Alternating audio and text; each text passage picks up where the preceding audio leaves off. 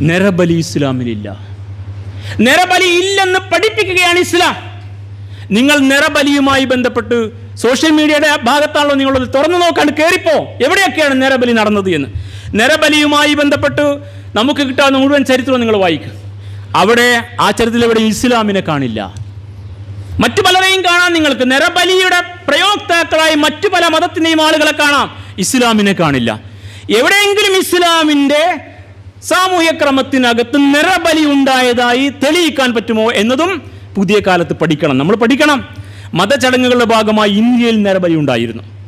ദേവപ്രീതിയുടെ ഭാഗമായി ദേവതാപ്രീതിയുടെ ഭാഗമായി ഭൂമിയുടെ ഫലഭൂയിഷ്ടി വർദ്ധിപ്പിക്കാൻ നിധി കിട്ടാൻ ഐശ്വര്യം വരാൻ അമാനുഷിക കഴിവുകൾ ആർജിക്കാൻ രോഗമുക്തിക്ക് വേണ്ടി അമാനുഷിക ശക്തികൾ ആർജിക്കാൻ വേണ്ടി അമാവാസി പൗർണമി നാളുകളിൽ ബലിയർപ്പിക്കുന്ന കാര്യവുമായി ബന്ധപ്പെട്ട് ഇതിവൃത്തമുള്ള ഒരുപാട് സിനിമകൾ മലയാളത്തിലുണ്ടല്ലോ. എവിടുന്ന അതൊക്കെ വന്നത്? എന്നും പഠിക്കണം. വലിയ വലിയ തടയണകൾ നിർമ്മിക്കാൻ പഴയ കാലത്ത് അഥവാ ഡാമുകൾ വെള്ളം കെട്ടിരുന്ന അണക്കെട്ടുകൾ നിർമ്മിക്കാൻ വേണ്ടി മനുഷ്യനെ ബലി കൊടുത്തിട്ടുണ്ട് എന്ന ചരിത്രം ഇവിടെ ഉണ്ടല്ലോ. അവിടുന്ന് ഇസ്ലാമിനെ നിങ്ങൾക്ക് കാണില്ല. ഇന്നും ഭാരതത്തിന്റെ വടക്കൻ സംസ്ഥാനങ്ങളിൽ നിരബലിയുണ്ട് കഴിഞ്ഞ മാസങ്ങൾ മുതൽ അങ്ങോട്ട് പരിശോധിക്കും നിറബലി നടന്ന ചരിത്രങ്ങൾ. അവിടെ ഒന്നും ഇസ്ലാമിന്റെ പേര് നിങ്ങൾക്ക് കാണാൻ കഴിയില്ല. ലാറ്റിൻ അമേരിക്കൻ രാജ്യങ്ങളിലാണ് ഏറ്റവും വലിയ നിറബലി നടന്നതെന്നുള്ളതാണ് അഞ്ഞൂറ് വർഷങ്ങൾക്ക് മുമ്പ് ഇവിടെ നിന്ന് അങ്ങോട്ട് പിറകോട്ട്.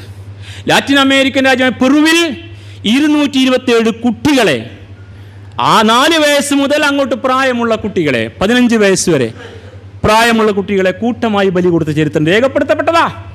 കാലാവസ്ഥാ വ്യതിയാനത്തിന്റെ പ്രയാസങ്ങളിൽ നിന്ന് മുക്തി നേടാൻ വേണ്ടി. അവിടെയും ഇസ്ലാമിന്റെ പേരല്ല ആ മതവിശ്വാസം നിങ്ങൾക്ക് കാണാൻ സാധിക്കുക. ആസ്റ്റക പുരോഹിത വർഗം എന്നൊരു വിഭാഗമുണ്ട്. മധ്യ അമേരിക്കയിൽ. അവർ ഏത് മനുഷ്യനെ കിട്ടിയാലും ബലി കൊടുക്കും. മുമ്പിൽ ചെന്ന് പെട്ടാൽ മതി. അതും ഇസ്ലാമിന്റെ പേരിലല്ല. അതുകൊണ്ട് ഇസ്ലാം നിരബലി ഇല്ല എന്ന് പഠിപ്പിച്ചതാ. ലോകത്ത് അതുവരെയും നിരബലി ഉണ്ടായിരുന്നു. ശേഷം ഉണ്ടായിട്ടുണ്ട്.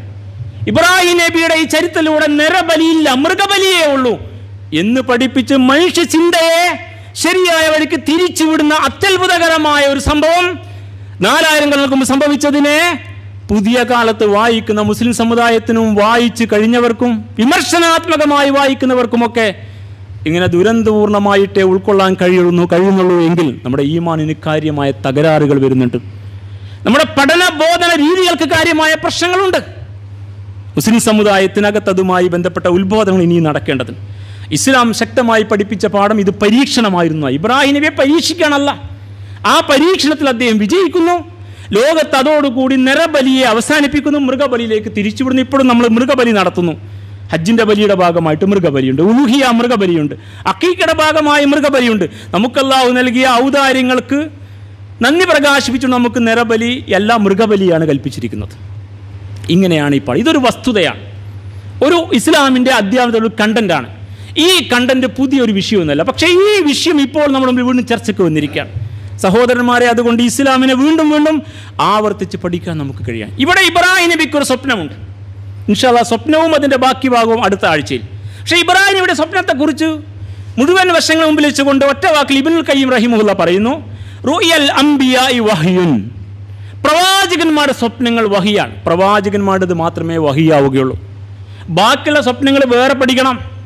കാണുന്ന സ്വപ്നങ്ങൾക്ക് വ്യാഖ്യാനം തേടി നടക്കുന്നവൻ വിശ്വാസമുള്ളവനാണ് താൻ കണ്ട സ്വപ്നത്തിന്റെ അർത്ഥം തേടി നടക്കുന്നവർ ആരെങ്കിലും ഉണ്ടെങ്കിൽ അവന് ഇൽത്തിബാസും ഷെക്കും ശുഭഹാത്തും ഉണ്ടെന്ന് നിങ്ങൾ ഇപ്പോഴേ എഴുതി വെച്ചോ.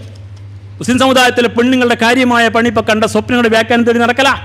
അത് വേറെ തന്നെ സമുദായത്തെ പഠിപ്പിക്കേണ്ടത്. എന്നാൽ പ്രവാചകന്മാരുടെ വഹി മാത്രമാണ് സ്വപ്നം. റുയൽ അംബിയായി വഹിയുൻ. പ്രവാചകന്മാരുടെ സ്വപ്നങ്ങൾ വഹിയാണ്. കാരണം ആ സ്വപ്നങ്ങൾ ഷെയ്ത്താൻ മുക്തനായിരിക്കും മുക്തമായിരിക്കും. മറ്റേതൊക്കെ പിശാജിന്റെ സ്വപ്നങ്ങൾ കൂടി ആവാം. ഇത് മാത്രമേ മാൾസുമത്തുമേ ഷെയ്ത്താൻ ഷെയ്ത്താൻ മുക്തമായ സ്വപ്നങ്ങളാകുള്ളൂ. വഹാദാ ബി ഇത്തിഫാക്കിലും ഇതാണ് മുസ്ലിം സമുദായം ഉറച്ചു വിശ്വസിക്കുന്ന കാര്യം. ഇത് മുസ്ലിം സമുദായത്തിൽ ഏകാഭിപ്രായമുള്ള കാര്യമാണ് അതുകൊണ്ട് പ്രവാചകന്മാരുടെ സ്വപ്നങ്ങൾ മാത്രമേ വഹിയാവുകയുള്ളൂ. അപ്പൊ ഇബ്രാഹിം ഇവിടെ സ്വപ്നത്തിന് ശേഷം അത് ഇങ്ങനെ ചെയ്യാൻ ശ്രമിച്ചില്ലേ? എന്നാൽ പിന്നെ നമുക്ക് സ്വപ്നമാണ് ചെയ്തേക്കാം എന്നൊക്കെ വിചാരിക്കുന്നവർ യഥാർത്ഥത്തിൽ എന്താണ് എന്താണ് അവരുടെ അസുഖമെന്ന് നമ്മൾ വേറെ തന്നെ പഠിക്കണം. അതുകൊണ്ട് പഴയ കാലത്തെ ഓതിമറിച്ചിലിനെയും പുതിയ കാലത്തെ വിഷാദ വിഭ്രാന്തിയെയും ഒരുപോലെ പേടിക്കണം. കുടുംബത്തിൽ ശ്രദ്ധിക്കണം. ഭാര്യമാരെ ശ്രദ്ധിക്കണം. ഭർത്താക്കന്മാരെ മക്കളെ ശ്രദ്ധിക്കണം. നേരെ ചൊവ്വയെ പഠിപ്പിക്കണം. സോഷ്യൽ മീഡിയയിൽ കാണുന്ന എല്ലാ സൈറ്റിലും കയറിയിട്ട് എല്ലാ പ്രസംഗങ്ങളും എല്ലാ ഉത്ബോധനങ്ങളും എല്ലാ വർത്തമാനം എല്ലാ വസ്വാസം കേൾക്കാൻ പോയാൽ ഇതൊക്കെ സംഭവിക്കും. ഇനിയും സംഭവിക്കും. ഇത് ആദ്യത്തെ ഒന്നും ആവില്ല. അവസാനത്തേതാവാൻ ഒരു സാധ്യതയുമില്ല പുതിയ കാലത്ത്. അതുകൊണ്ട് ഈ മാൻ ഉറപ്പിച്ച് വിജ്ഞാനം ഉറപ്പിച്ച് ഇസ്തികാമത്തോടെ നീങ്ങാൻ കഴിഞ്ഞില്ല എങ്കിൽ സഹോദരന്മാരെ അപകടങ്ങൾ ഇനിയും സംഭവിക്കും. ആർക്ക് സംഭവിച്ചെന്ന് സന്തോഷിക്കൊന്നും വേണ്ട. എവിടെയും സംഭവിക്കാം. എപ്പോഴും സംഭവിക്കാം. കാരണം മനുഷ്യ മനസ്സിന്റെ അത്ഭുതകരമായ മാറ്റങ്ങളെ നമുക്കിപ്പോഴും കൈപ്പിലൊതുക്കാൻ പറ്റിയിട്ടില്ല. എപ്പോഴാണ് വിഭ്രാന്തി വരിക എപ്പോഴാണ് വിഷാദ രോഗിയാവുക എപ്പോഴാണ് അത് കാണിക്കുക? എപ്പോഴാണ് ഇത് ചെയ്യുക എന്നൊന്നും ആർക്കും പറയാൻ കഴിയാറില്ല. അതൊക്കെ മുമ്പ് കാലത്തുള്ള തന്നെ. ഇപ്പോൾ എല്ലാവരും അറിയുന്നു മുമ്പ് ആ പരിചയത്തിൽ അറിയുള്ള വ്യത്യാസമേ ഉള്ളൂ. അതുകൊണ്ട് സമുദായത്തിനകത്ത് ഇത് ഏറ്റെടുക്കുന്നവൻ അത് ഖുർആൻ പരിഭാഷ ചെയ്തതുകൊണ്ടാണെന്ന് വാദിക്കും. കാരണം അവന് വേണ്ടത് കഴിഞ്ഞ ഹുത്തിൽ പറഞ്ഞ പോലെ ഹുറാപ്പാത്തും ഇൻഹിറാഫാത്തും ബിദത്തും ശിർക്കും വ്യവസ്ഥാപിതമായി കൊണ്ടുപോകണം. അപ്പോൾ അതിന്റെ ഉസ്താദുമാർ കണ്ടില്ലേ? ഖുർആനൊക്കെ പരിഭാഷപ്പെടുത്താൻ തുടങ്ങിയപ്പോഴാണ് ഈ പ്രശ്നങ്ങളൊക്കെ ഉണ്ടായത്. ജുമൊക്കെ മലയാളത്തിലായപ്പോഴാണ് ഈ പ്രശ്നം. അവൻ പരിഹാരം വേഗം കണ്ട് സംതൃപ്തനായിരിക്കുകയാണ് മറുഭാഗത്ത് യുക്തിക്ക് വാദം പിടിച്ച ആളുകൾ ഇതെല്ലാം ഇസ്ലാമിന്റെ പേര് കെട്ടിവെച്ചു. മുമ്പ് ഒരു പ്രവാചകൻ മകൻ ആർക്കും സ്വപ്നം കണ്ടപ്പോൾ അയാളെ പ്രവാചകനായി വാഴ്ത്തി. ഇപ്പോ ഒരു ഉമ്മ ആ സ്വപ്നം കണ്ട് മകനെ അറുത്തപ്പോൾ അതിനെ ഭ്രാന്തിയാക്കി എന്നാണ് അവന്റെ ജൽപ്പനം. അത് ട്വീറ്റ് ചെയ്യാൻ കുറേ ആൾക്കാർ പോയി. അവിടെ ജാതി മതം നോക്കിയാലും മുസ്ലിം സമുദായത്തിലെ കുറേ സാധനങ്ങൾ ഇതിനകത്തുണ്ട്. അപ്പോൾ ഇങ്ങനെയൊക്കെയാണ് പ്രശ്നങ്ങൾ. നമ്മളിങ്ങനെ ഒന്നും അറിയാത്ത പോലെ ജീവിച്ചൊന്നും കാര്യമില്ല. ചില കാര്യങ്ങൾ പറയാതൊന്നും കാര്യമില്ല. പിന്നെ നമ്മൾ ജീവിക്കുന്ന എന്തിനാണെന്ന് തോന്നിപ്പോവില്ലേ? ഇനിയും മതവിദ്വേഷത്തിന്റെ ആളുകൾ ഇസ്ലാമോഫോബിക് ആയിട്ടുള്ളവർ ഇത് വെച്ചുകൊണ്ട് ഇങ്ങനെയൊക്കെ ഇസ്ലാം പഠിപ്പിക്കുന്നത് കൊണ്ടാണ് ഇങ്ങനെയൊക്കെ സംഭവിക്കുന്നത് പറഞ്ഞു. എന്നാൽ അന്ന് നടന്ന പല സംഭവങ്ങളെയും ഇതിനു മുമ്പ് നടന്ന പലതിനെ ആരും മതവുമായി ചേർത്ത് വെച്ചില്ല.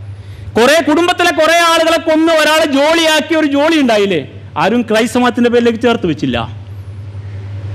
അത് ഈ പരിസരത്ത് തന്നെയാണല്ലോ. കുടുംബത്തിലെ മുഴുവൻ ആളുകളെയും കൊന്ന് നിധി തേടിയ കുടുംബങ്ങളില്ലേ? കേരളത്തിൽ അപ്പുറത്തൊക്കെ ഉണ്ട്. അതിലാരും അവരുടെ മതം ചർച്ചയാക്കിയില്ല. പക്ഷേ ഇസ്ലാമിൽ അങ്ങനെയാണ്. കാരണം അത്രമേൽ ഇസ്ലാം വിരോധത്തിന്റെ പാനപാത്രം കുടിച്ചുകൊണ്ടിരിക്കുകയാണ് ഈ സമൂഹം. അതിനകത്ത് അറിയാതെ കുടിക്കുന്ന മുസ്ലിം നാമധാരികളും. ഇങ്ങനെ ഒരു കാലത്താണ് നമ്മൾ ജീവിക്കുന്നത്.